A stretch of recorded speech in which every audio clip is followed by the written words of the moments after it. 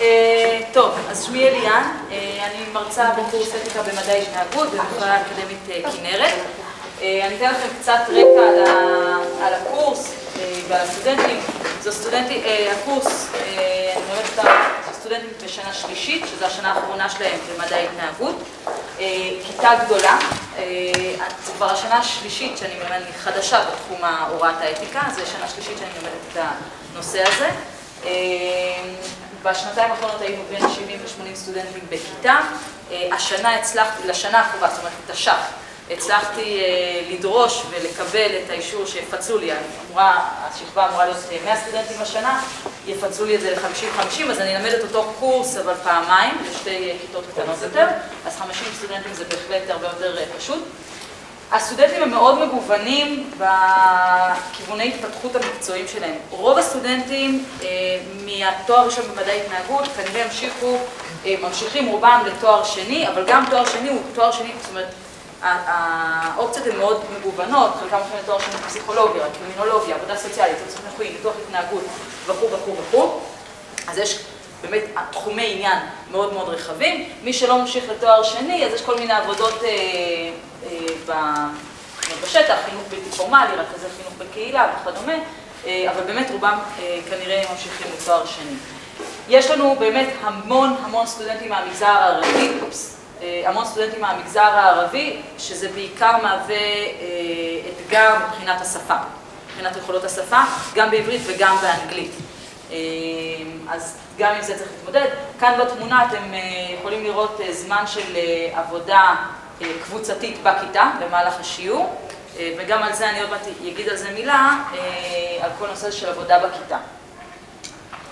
אז מה שאני אעשה בעצם במעט זמן שיש לי, אני, אני, כאן יש את התפוקות למידה, זאת אומרת, מהם תוצרי הלמידה, מטרות הקורס, איך, מה אני רוצה שהסטודנטים, מה אני רוצה שהסטודנטים ידעו לעשות בסוף הקורס, ובמצגת אני אראה איך אני מממשת כל מטרה לאורך הסמסטר, איך זה בא לידי ביטוי.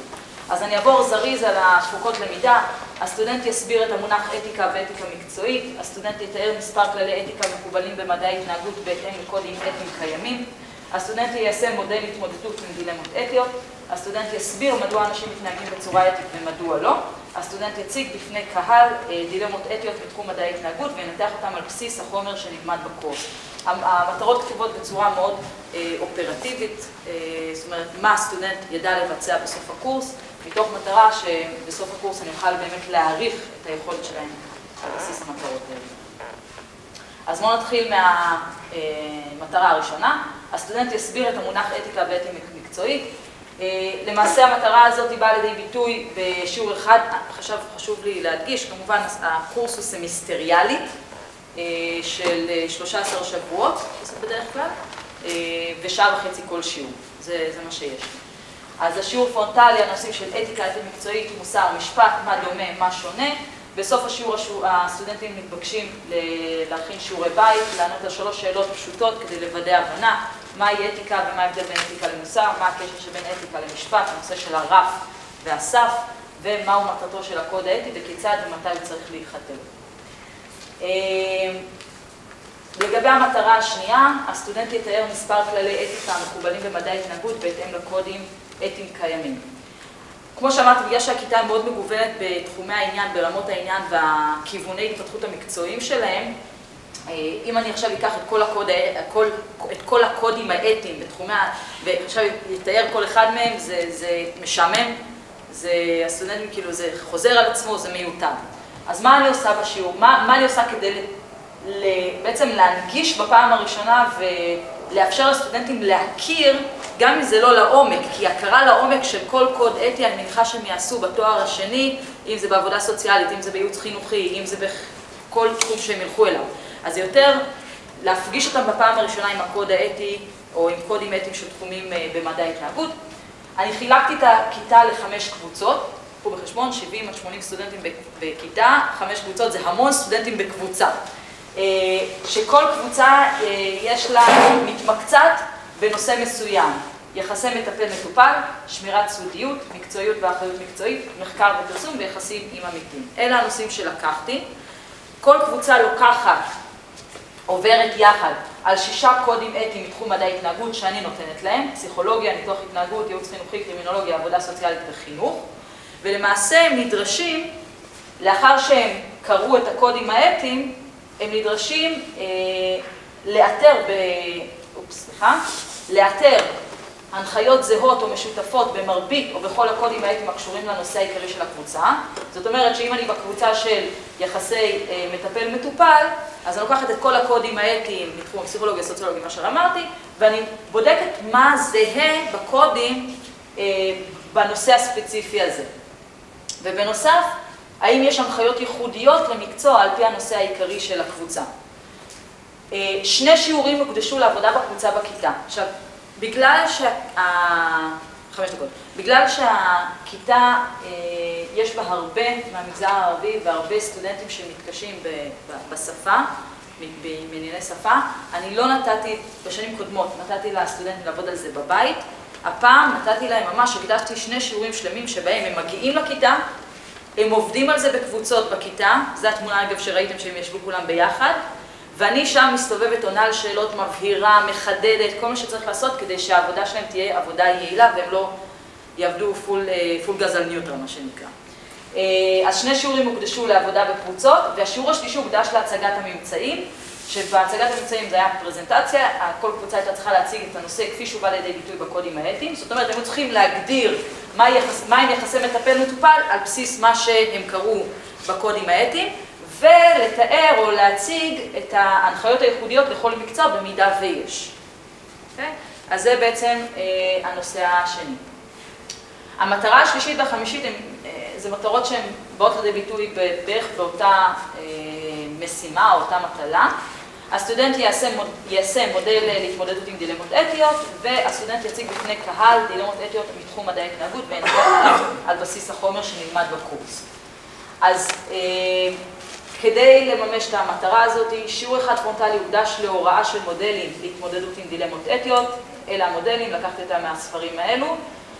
אה, פשוט לימדתי את המודל, ואז השיעור השני, בעצם לא היה שיעור בכיתה.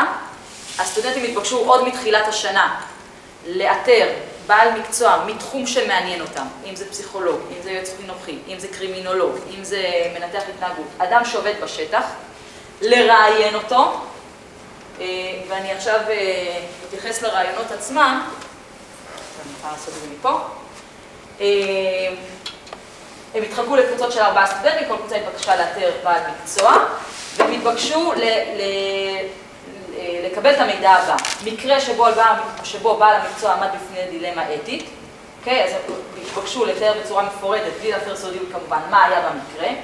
מה הייתה הדילמה האתית איתה בעל מקצוע היה צריך להתמודד, כיצד בעל המקצוע התמודד עם הדילמה, האם הוא התייעץ עם קולגות, האם חזר לקרוא את הקוד האתי, מה הוא עשה בפועל כדי לנסות להתמודד עם הדילמה, וכיצד הוא פעל בסופו של דבר.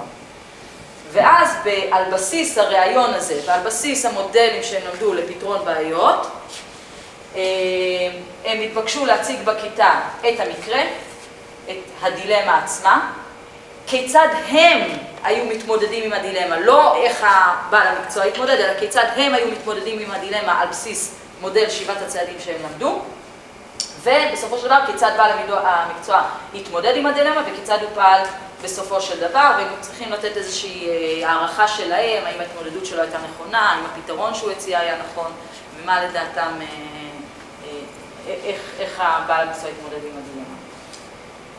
אה, שיעור נוסף זה, אה, הסטודנט יסביר מדוע אנשים מתנהגים בצורה אתית ומדוע לא, שיעור פרונטלי אה, על הנושא של מערכת יחסים בין מטפל, מטפל למטופל כגורם או כקרקע להתנהגות לא אתית, מכיוון שיש כאן מערכת יחסים שהיא לא שוויונית, סיבות להפרה של קודים אתיים על בסיס הפרק שכאן, ואני אני, אני מנתחת התנהגות, זה הרקע שלי, אז אני חייבת גם להתייחס לתפיסה התנהגותית בהיבוריסטית להתנהגות אתית.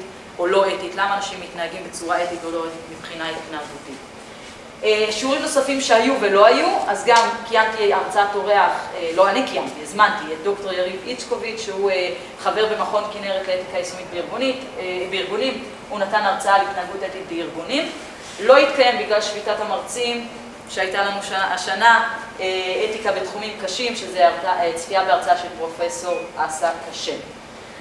מה הייתי רוצה לשפר ולשנות, וזה הסוף, אני מקווה שמכאן, מהפורום הזה, זה, אנחנו, אני אצליח באמת לשפר, כי תמיד יש לאן להגיע, ועוד לשפר, להוסיף עוד תוכן להוראה בנושא אתיקה ומדעי התנהגות, לחדד את המכוונים שלי, ולבנות מבחן אמריקאי, כי כרגע אני בעיקר מתבססת על עבודות.